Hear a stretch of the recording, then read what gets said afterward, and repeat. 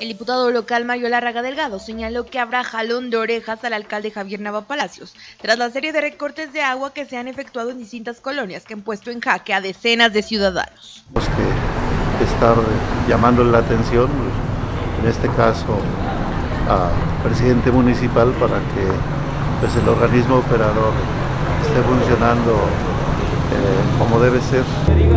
Permitamos que se suspendan o se racionen más los servicios que prestan Interapas por cuestiones de, que algo pueda haber ocurrido en la presa. Además, indicó que los cortes son inaceptables en esta temporada de contingencia en la que se requiere que se actúe con mayor responsabilidad, ya que dijo la cuestión de saneamiento no puede existir si no va emparejado a una buena provisión de agua.